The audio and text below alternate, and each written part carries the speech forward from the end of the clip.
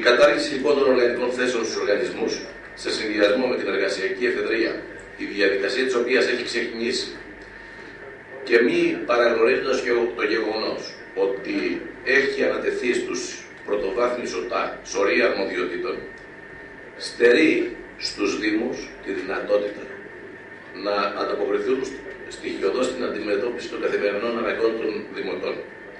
Προτείνω να σταλεί επιστολή παρέ, με στην ΚΕΔΕ, την οποία θα την καλούμε να αναλάβει πολιτικές πρωτοβουλίες για την εξαίρεση των οργανισμών τοπικής αυτοδιοίκησης από το μέτρο της εργασιακής εφεδρείας και τη μη τροποποίηση των οργανισμών ε, εσωτερικής υπηρεσίας των Δήμων και των, των νομικών προσώπων και των επιχειρήσεών τους που πρόσφατα συντάχθηκαν. Παράλληλα, να διεκδικήσουμε δυναμικά την απόδοση των οφειλόμενων και θεσμοθετημένων πόρων στην τοπική αυτοδιοίκηση. Επιπλέον, να επιδιώξουμε και να συντονίσουμε κοινή πολιτική δράση, ως ΚΕΔΕ ουσιαστικά λέω, με την Ένωση Περιφερειών Ελλάδος, που έχει το αντίστοιχο πρόβλημα. Εμείς συμφωνούμε καταρχάς με την πρόταση που έκανε ο κύριος Δήμαρχος, μάλλον με τις προτάσεις που έκανε ο κύριος Δήμαρχος και συγχρόνως επαυξάνουμε και με μια δικιά μας επιπλέον πρόταση που λέει η Αιγύπτος που έστειλε το Υπουργείο Διοικητικής Μεταρρύθμισης και Ηλεκτρονικής Διακυβέρνησης δεν λέει πουθενά ότι τα γραφεία προσωπικού των Δήμων θα πρέπει να χορηγούν οποιαδήποτε στοιχείο που αφορά το προσωπικό που υπηρετεί σε αυτό και στο Υπουργείο. Ότι σε ενδεχόμενο, τουλάχιστον ο δικός μας σύλλογος που έχει τους πέντε Δήμους, σε ενδεχόμενο που διαπιστώσουμε ότι κάποια από τα γραφεία προσωπικού δώσει προσωπικά δεδομένα συναδέλφων με αόριστη σύμβαση, θα προχωρήσουμε στην κατάληψη σαν σύλλογος των γραφείων προσωπικού. Το Δημοτικό Συμβούλιο να μην υπογράψει καμία εργασιακή εφεδρεία όπως ο Δήμαρχος αλλά και το Δημοτικό Συμβούλιο να δεσμευτεί έναντι των συναδέλφων όπως θα δεσμευτούν και τα άλλα τέσσερα Δημοτικά Συμβούλια του νομού Αρκαδίας να μην προχωρήσουν σε καμία πώληση. Εγώ προσωπικά θα ήθελα να καταγγείλω το Υπουργείο, τα Υπουργεία γενικότερα, και το οικονομικό αλλά και το εσωτερικό, για την όλη μεθόδευση το να μην στηρίξουν έναν θεσμό τον οποίο πριν ένα χρόνο περίπου το είχαν ψηφίσει. Και αναφέρουμε το Εθνικό Κράτη στη εφαρμογή της συνέλευσης των πρώην Δήμων σε ένα καινούργιο μοντέλο διοίκησης της πρωτοβάθμιας αυτοδιοίκησης και της Εθνοπάρκη. Λυπάμαι, διότι αυτοί οι άνθρωποι έτσι φαίνεται λειτουργεί το σύστημα όλα αυτά τα χρόνια, γι' αυτό έχουμε φτάσει σε αυτά τα επίπεδα, δεν αντιλαμβάνονται το τι ακριβώς συμβαίνει στην πράξη.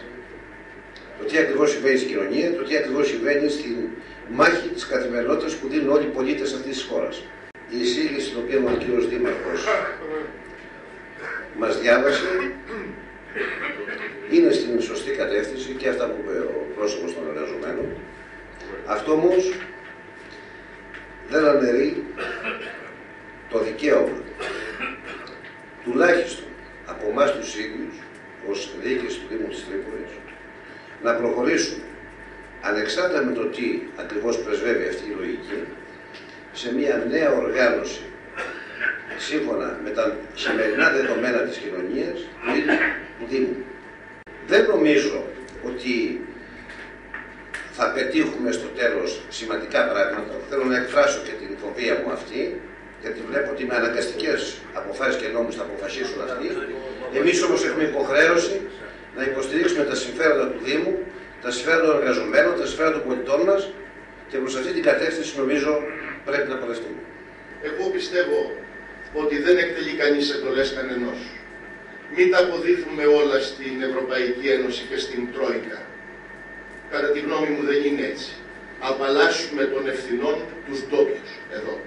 Λοιπόν, δεν μπορεί να ισχύσει αυτό το μέτρο για το Δήμο της Τρίπολης τουλάχιστον που έχω πλήρη γνώση της τρομερής έλλειψης προσωπικού που υπάρχει και που καθόλου δεν περισσεύει.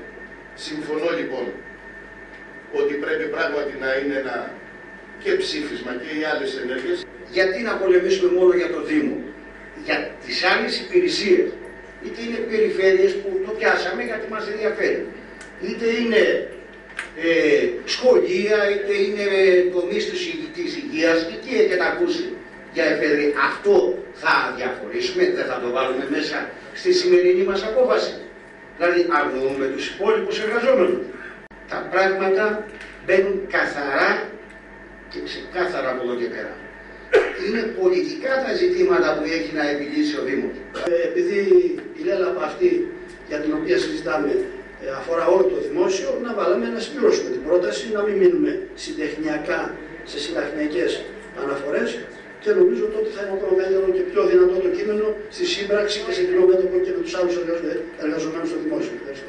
Η αδυναμία και πάλι του οικονομικού επιτελείου της κυβέρνησης να εισπράξει έσοδα και η διαχρονική ανικανότητα, θα έλεγα εντός ή εκτός εισαγωγικών των κυβερνήσεων, ακόμα και σήμερα, μέσα στη βαθιά οικονομική κρίση που διαπερνά όλη τη χώρα,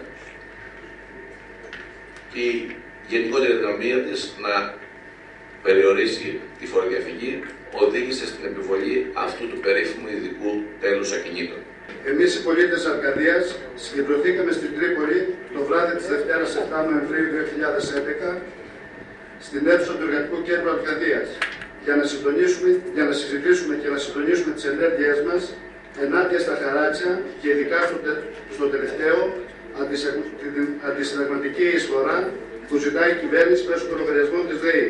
Δεν έχουμε κανένα πρόβλημα να μας χαρακτηρίσουν λαϊκιστές και συντεχνίες γιατί προσπαθούμε με μειωμένους μισθούς, με απολύσεις, με εργασιακές εφεδρίες να σταθούμε στα πόδια μας.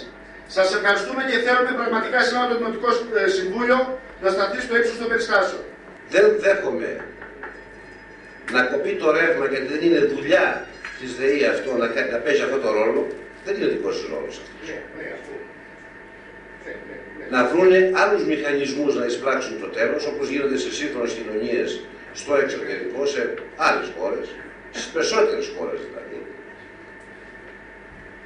Και αν συμβεί να γίνει, να, κο- να κόβεται το ρεύμα, θα ήθελα και ο Δήμος μας να παρέχει την α- ανάλογη νομική στήριξη ή οτιδήποτε τεχνική στήριξη δεν πρέπει να πληρωθεί μέσα από το λογαριασμό της ΔΕΗ.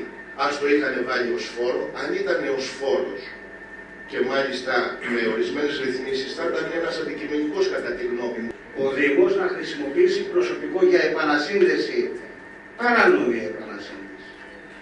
Όπου η ΔΕΗ τολμήσει να κόψει το ρεύμα, όχι μόνο σε αυτούς που δεν έχουν, και εδώ είναι η διαφωνία μας με την εισήγηση του Δήμου, όχι μόνο στις ασθενείς κοινωνικές ομάδες, αλλά και όσους δεν θέλουν να πληρώσουν. Δεχόμεθα αρκετά από αυτά που περιέχει και η εισήγηση του κ. Δημάρχου. Παρ' όλα αυτά θα θέλαμε να μπει σε ε, ψηφοφορία, στην ψηφοφορία και η δική μας πρόταση